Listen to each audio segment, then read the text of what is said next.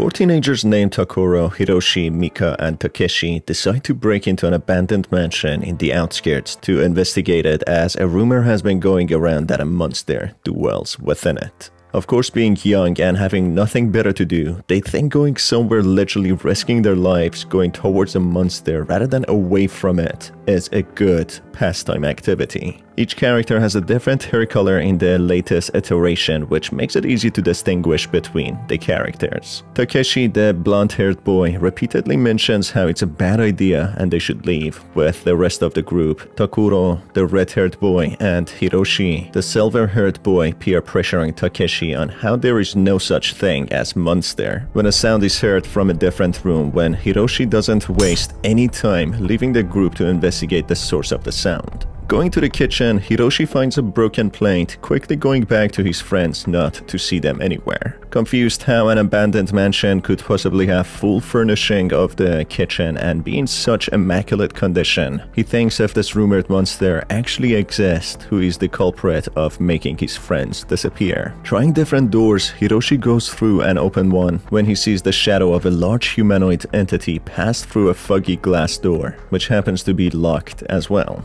Exploring the mansion, Hiroshi soon finds Takeshi cowering in a closet, shivering as if he's seen a ghost. Trying to get a word out of a frightened Takeshi, he seems shell-shocked, unable to utter as much of a word. Hiroshi, in search of others, tries to take Takeshi with him but leaves him behind in the closet as he seems to be scared to even move. As Hiroshi goes to find the others, he comes across a large violet-colored Oni or a demonic being chasing after him in a hostile manner, not saying a word, having a twisted humanoid face which terrifies Hiroshi who outruns this monster. Hiroshi going around the mansion to get all of his friends together in order to escape, seeing it for himself that monsters do actually exist, he suddenly gets approached by an anxious and scared Takuro who confirms with Hiroshi if what they saw was real or not. Takuro carries on that all the exits are shut which gives him the bright idea to split up in order to find ways to leave this cursed mansion more efficiently but not necessarily more safely. Going through the mansion some more, Hiroshi finds a cowering Mika in one of the bedrooms. Mika explains that she and the group got separated, with her staying in the room to hide from the monster. Hiroshi insists of taking Mika with him as it would be better to stick together, but Mika, who's terrified, decides to stay in the safe place until Hiroshi finds an exit before she even takes as much of a step. As Hiroshi goes on to find a way out and rescue his friends, he comes across a hidden room behind a bookshelf that has a jail cell, which makes him think of the reasons why a cell would be in this abandoned mansion. Could it be that a scientist carried on experiments that backfired? Could it be that the owner of the mansion was aware of this monster and built a cell for it to keep it detained before things went haywire? Or could this hidden room just be a gimmick in the game for no contribution to the story whatsoever? As Hiroshi explores the cell to find the key to open the locked doors, the Ao Oni, translated directly to Blue Demon, who is actually more violet, comes to the room, staring at Hiroshi, trying really hard to break the door and get to him, but eventually gives up and leaves, knowing the cell is very secure, as if it had experience being in a cell before itself. Hiroshi carefully leaves the room, ensuring that the Oni is nowhere to be seen, when he hears the scream of Mika all of a sudden, which clearly depicts why staying alone in a room was not such a good idea. As Hiroshi goes to the bedroom to check on Mika, he comes to the horrifying scene of the Oni kneeling above Mika's body, moving in a fashion as if eating Mika. Horrified to the scene, Hiroshi soon runs away with the Oni turning around and chasing after him in a swift motion. Extremely saddened by this event, thinking he lost a friend, he carries on his search to find a way out when he sees Mika well and alive in another side of the mansion. Confused to how this could be, he looks at Mika in confusion when she suddenly transforms into the same demonic being, only having one identifiable difference her hair. This clearly displays that the Oni who was chasing after the group was once a human as well, who somehow turned into this grotesque monster. Maybe this explains to some degree why there was a jail cell in a hidden room. My theory is that whoever lived in this mansion was possibly experimenting on humans, hence why he created a hidden cell room to hide his subjects from the eye of the public, which led to the monster escaping, leading to people believe the mansion is abandoned while in fact a monster or monsters lived in it. This also explains why the mansion is fully furnished, as if people still live here, as otherwise, whoever would abandon the mansion or leave would take their belongings with them. Escaping the monster Mika, Hiroshi comes across a room which has a rope which could fortify this tragic theory. As the scientist or the mansion owner couldn't cope with turning into an Oni, he wanted to stop it, but by then it was already too late. The weather outside changing, now raining heavily and being nighttime, Hiroshi feeling responsible for his friends tries to find an exit and lead them to safety, all while trying to evade the violet bald monster and the recently turned Mika. After some time, lighting the candles, Hiroshi finds Takeshi, who is hiding in the shadows being extremely terrified. At the same time, he feels immense guilt for being the one who suggested to the group to come to the mansion and investigate paranormal entities, not being able to face Hiroshi and running away, feeling ashamed.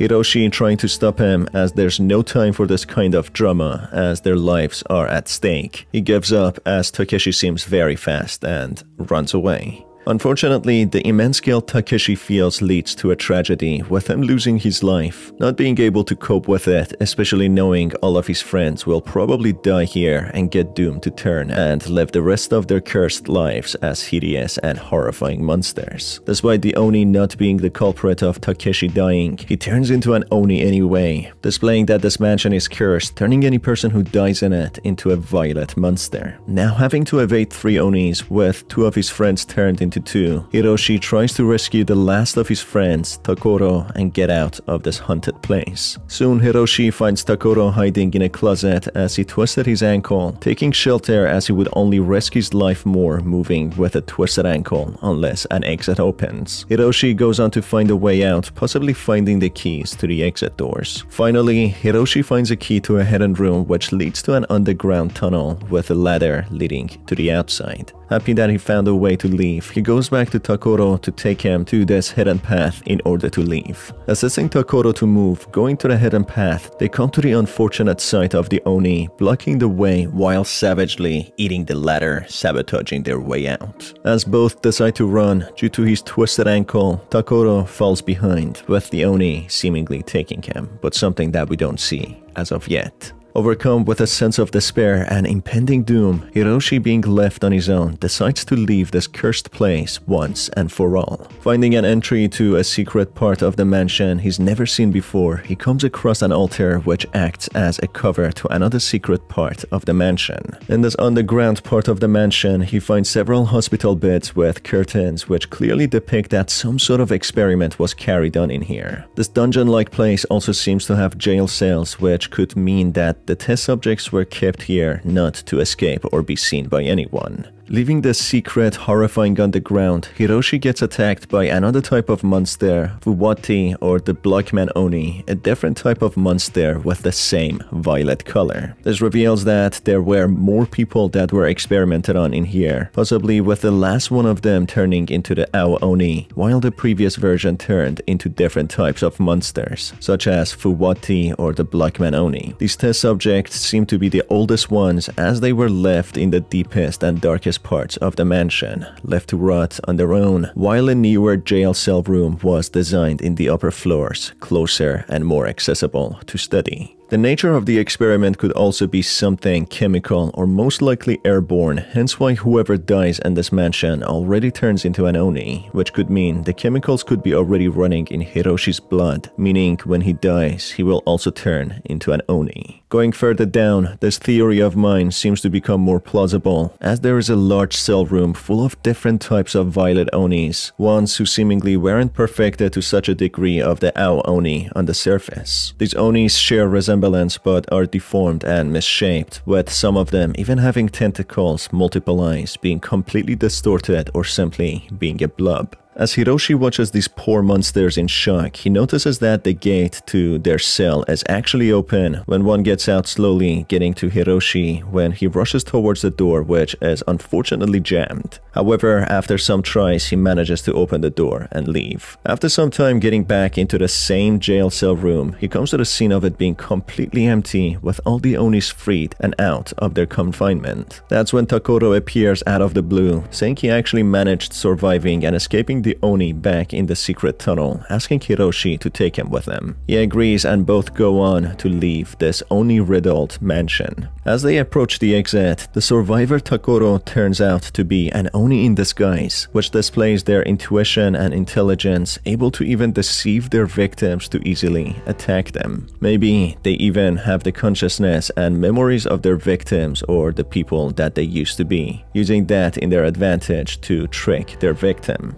Escaping a turned Takuro, knowing he needs to leave as all of his friends are gone already, he manages to leave running with all of his might, running in a rainy and dark weather with his instincts kicking in, not even stopping for a split second to catch his breath as he knows the Oni Takuro is on his tail. He doesn't stop until he reaches the nearest town, not even looking behind until he sees actual people, seeing how the Oni Onis probably stopped following him as he passed the mansion's gate. As time passes on, the extreme extreme trauma he experienced causes him to forget what happened in the mansion, with Takuro and his friends still missing, struggling to remember it perfectly. Despite this group of friends perishing and turning into monsters, more and more curious people go to the mansion to investigate the rumored monsters, all succumbing to these demons who see through walls as they detect the temperature difference and can easily detect human presences. Now something I found interesting in the game is that there are multiple demons in the mansion and not just one. There are anime and apparently live action adaptations of this game, which I haven't seen any of, Therefore, the plot might be actually explained in them, but according to what we see in the game, being the sixth version, the multiple versions of the Ao Oni depicts that there was some sort of progression to achieve the ideal Ao Oni, even though it is still distorted. You might say there is no evidence of experimentation whatsoever, but the presence of hidden rooms containing jail cells and medical beds display that whoever designed this mansion and its hidden rooms had sinister intentions that they wanted to keep secret from the general public or even their guests. Also, the progression of these demons into fully formed, almost perfect humanoid Onis display a series of progress, with earlier versions being less than ideal with no limbs onto a fully humanoid demon who can even mimic humans and use their memories in their advantage to prey on their victims. Also, the fact whoever dies in the mansion arises as an Oni displays how there is some sort of inhalant present, transforming anyone dying into an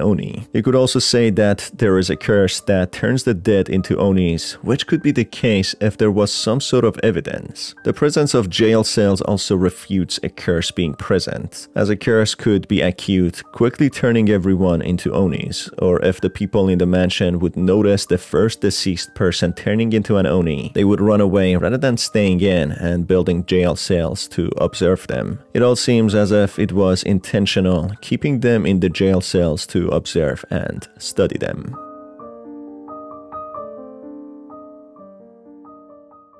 Alright folks, that's about it for this video. I truly hope that you enjoyed it. If you did, you can stay tuned for more by hitting on the subscribe button and the notification bell. It's been your host Star, and I will see you on the next video. Have a fantastic day.